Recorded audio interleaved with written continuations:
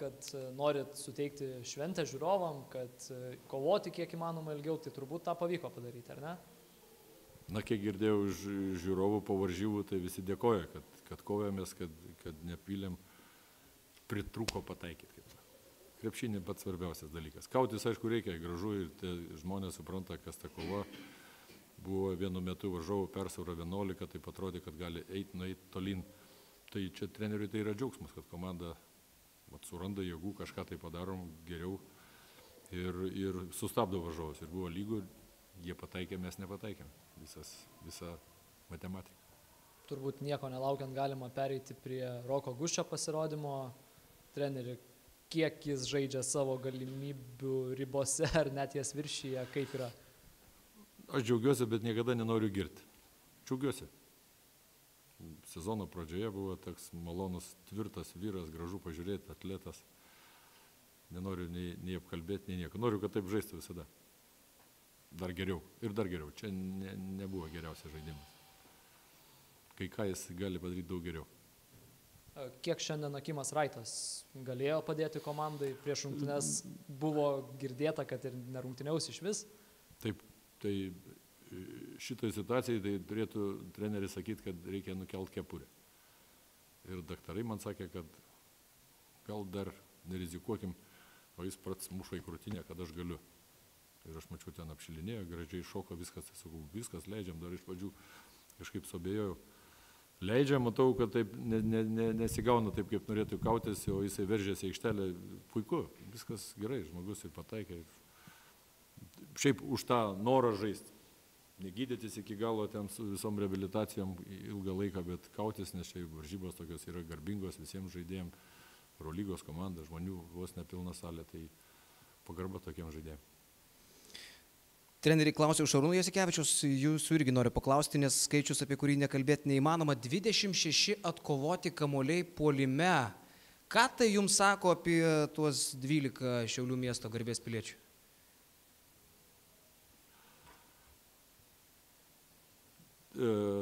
Šitą netaip reikėjo suformuoluoti klausimą. Jau suformulavau, treneri. Kodėl jūs laimėjote ar kovą atšokusių kamuolių? Aš jau sakiau, geriau kovojom dėl atšokusių kamuolių. Nu, apie kovingumą vis tiek norėtųsi pasikalbėti. Trečią kartą iš eilės taip sužaisti su Kauno Žalgiriu. Įspūdingas rezultatas. Dabar ką reikia girti žaidėjus, trenerius, trenerius. Aš galvoju, žaidėjai nusipelno. Pagirimo. Taip, pirmiausia, vat, aš labai trumpai rūbiniai užtrukau. Neturiu jokių priekaištų dėl kovingumo, jūs esate tikri vyrai, jūs esate komanda, bet norint laimėti reikia pataikyti. Viskas, jie suprato, galva linktelio ir čia, čia nėra daugiau ką pasakoti. O tas kovingumas tai yra, nu, būtinas. Prieš kokius du mėnesius nesitikėjau, kad šito galėsiu jūsų paklausti spaudos konferencijoje, bet dabar paklausiu. Jūs tikit, kad šitoje serijoje dar gali paaiškėti kitas finalo ketvirto dalyvis, negu visi planavo? Klausimas geras. Daug nepolitikuojant, e, galima sakyti, kad septyni taškai tai nėra nu, tragiškas rezultatas arba beviltiškas rezultatas. Mes Kaune pirmavome 11 Šeši. taškų. Šeši taškai. Mes pirmavome 11 taškų, galėjo ir panašiai pasibaigti, sakysim, pr- praeitos rungtynės. Tai kodėl negali būti jos kitos panašios? Sportas tuo yra žavingas, tuo traukia milijonus tūkstančių žmonių ir į sales, ir į stadionus, dėl to, kad jis yra nenusakomas. Jeigu čia iškart planuosim ir pakelsim rankas, niekas nei mūsų gerbs, nei, nei aš gerbsiu sportą. Tai treneri, pergalės šiandien jūsų komentaras apie rungtynės. Pergalė tokia, žinai, nu jinai nesaldi vis tiek jau, jūs turbūt irgi viską suprantat. Nu tikrai, sakau, nemalonu, kad du kart per tris dienas mus apstumdė, mus apmušė, labiau norėjo išlošti už mus, geresnį krepšinį žaidė už mus, tuo pačiu reikia pripažįsti, kad geriau treniruoti buvo du kart per tris dienas. Nu ir e, gerai, kad aišku laimėjom, bet nu, yra kai kurie pralaimėjimai, kurie džiugina, o yra kurios pergalės, kurios nedžiugina. Nu, tai čia turbūt vienas iš šitų variantų yra jau. Koks galbūt pozityvas, be to, kad laimėjote, ar yra kažkoks Pozityvas, kad visi žaidėm, ką ir planavom, čia jau, kaip sakant, aišku, norisi laimėti, bet čia nebuvo kažkoks žudbutinis dalykas, dar laukia vienos rungtynės Kaune. Norėjosi, kad, žaisti, kad žaistų vėl tie, kurie, kuriem galbūt nepasisekė kažkas sekmadienį. Kai kuriais variantais gaunasi, kai kuriais nesigauna. Nu, sakau, yra kaip yra. Džiugu, kad kai kurie žaidėjai tikrai ateina labai užsi, užsivedę, kitų, sakau, sunkiai man sekasi LKL juos už, užkurti.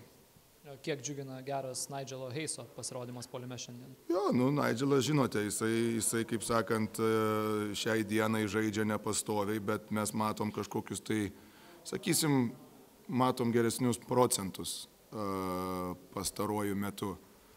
Žaidžia jis daugiau mažiau panašiai tikrai ir išlaiko solidumą, gynyboje, polime, vis laikai yra teisingoje vietoje, kas yra svarbu, kas reiškia, jis nemaišo komandos draugui. Kažką daryti ir atsiskleisti, bet, nu, kaip dar tai pataiko, tai super, tai tikrai tikiuosi, kad tai yra didžiulis žingsnis jam. Treneriai, negaliu nepaklausti to tokio nepatogaus klausimo apie atkovotus kamuolius, bet varžovai atkovojo 26 kamuolius puolime. Kaip paaiškinti tokį stulbinamą rezultatą? Nu, žinai, aš ką pasakiau ir žaidėjim, čia nereikia tau trenerio.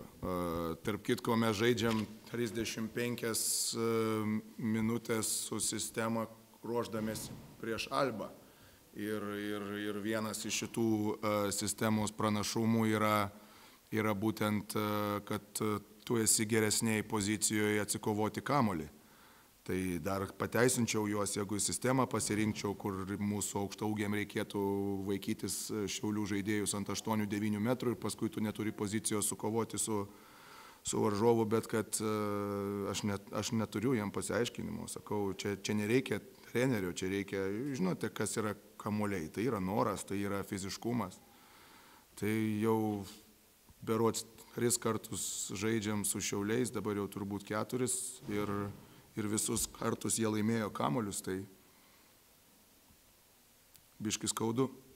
Ir apie Nigelo Heiso sezono rungtynes pagal rezultatyvumą stebite jį ir treniruotėse. Galima tikėtis iš tų tendencijų, kurias matot, kad jis taps vis ryškesnė polimo figūra žalgirėje? Man atrodo, mūsų biznį neegzistuoja tendencijos.